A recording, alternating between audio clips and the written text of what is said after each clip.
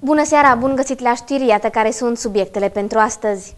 Case izolate în Chiuiești, pensionările anticipate în creștere în Sălaj, Coroien a pierdut finanțarea, torocul promovat și pe hârtie, spații verzi pe bani europeni la Poiana Blenchi, elevi intoxicați cu lapte primit la școală, problemele teritoriului Someș-Transilvan identificate, comune sălăjene finanțate prin FADR, peste 130.000 de euro pentru combaterea efectului de seră în Maramureș, peste 50.000 de pachete de țigări confiscate. Zelenț a adus victoria la Bistrița și Someșul Ileanda merge la baraj.